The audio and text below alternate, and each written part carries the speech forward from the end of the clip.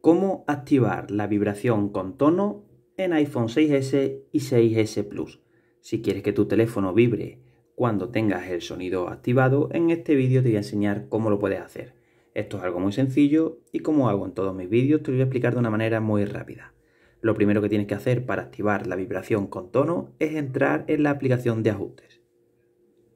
Ahora que estás dentro de ajustes, tienes que bajar hasta que llegues al apartado de sonidos.